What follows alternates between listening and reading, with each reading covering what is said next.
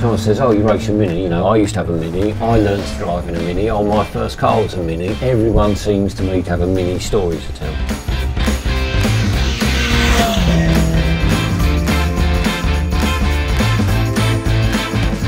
The whole thing started for me when I was a small boy riding around in the back of my mum's Mini 850.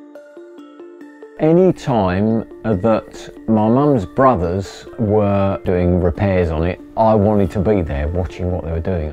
It just seemed to me to be the thing to do, to want to understand how it worked, why, why it did that. And I love the idea of getting the overalls on. That, that, that was it, I was hooked already.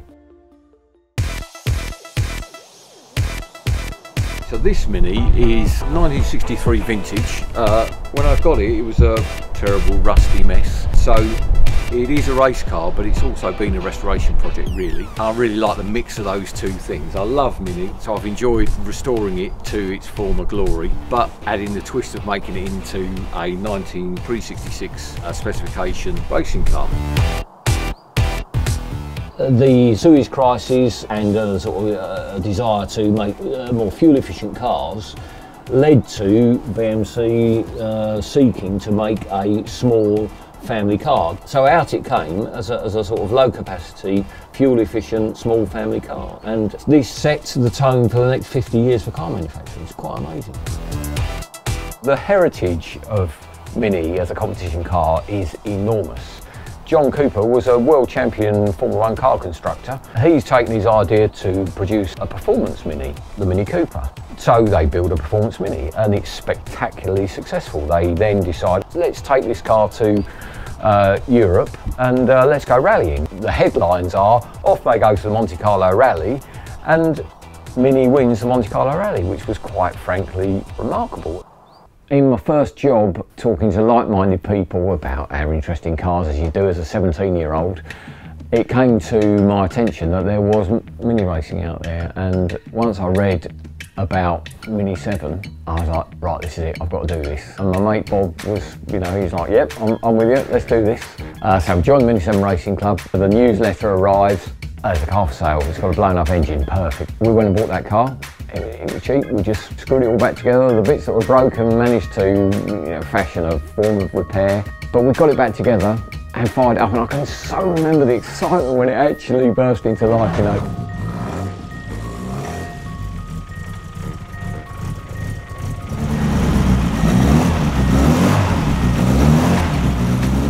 This is a transverse engine and when when the Mini appeared as a road car in 1959, the transverse engine was largely unthought of, you know, and the gearbox is underneath the engine and it's sharing the same oil. Mini sort of popularised front wheel drive, um, so it was a revolutionary car.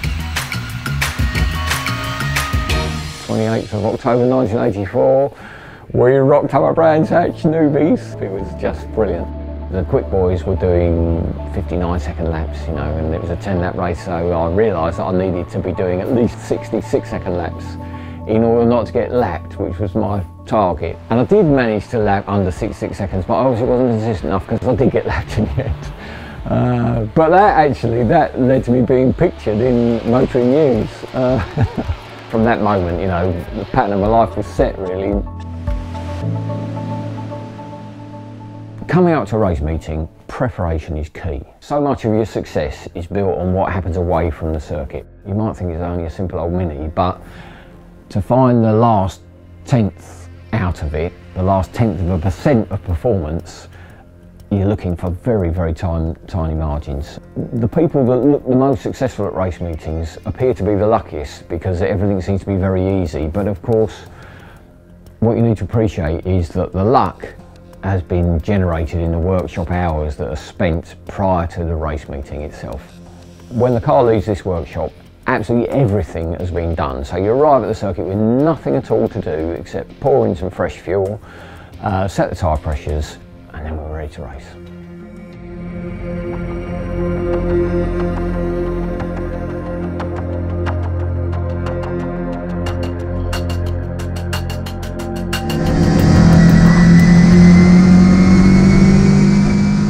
I suspect that for me, the time in the seat driving the car amounts to 1% of what motor racing is.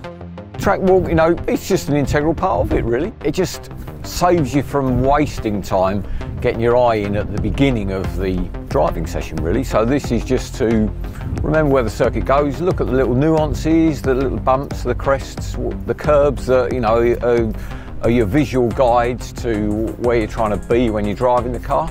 You know, it gives you a bit of understanding and, you know, you'll see if they've laid any new tarmac anywhere, which might have altered the grip levels, see if there's any water on it. We're looking for tents, maybe not even the whole tents, a little bits. You're looking for tiny margins everywhere. The line through this corner and the reading of the road is absolutely critical. So I'm just, I'm, I'm looking a long way into the distance and just, I can see where the grass is worn out on the right hand side of the road. I know that's where I'm going to go myself. I don't actually want to go on that dirty bit. I want to pick the mud up because I'm shortly going to be on the brakes.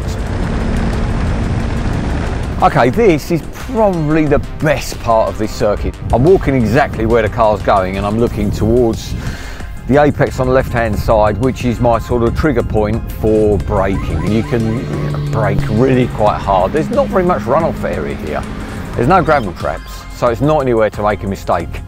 But you kind of gather the car in and down a couple of gears, turn sharp right here. Now there's a bit, I suppose, where you'd probably say you're earning your money, you know, because the car's dancing a bit now, you're hard on the brakes, you're trying to get the thing to turn in, so you want a bit of action from the rear, a bit of oversteer, just so that you don't have to put too much work through the front tyres. You must be right here, you know, not just on the white line, but the other side of the white line, using that extra bit of tarmac there. The curbs are ours as well. You've got to hold for a little while in order that you can make the exit work for you. And by now, you know, you're hard on the gas and it's flat out that way when I started, I never had the slightest idea that I was going to win any races. Certainly not any championships, and I don't think I thought for a minute that it would last as long as this. I just wanted to do it. I wanted to be out there doing it. So really, right at the very beginning, it was mission accomplished because I was out there.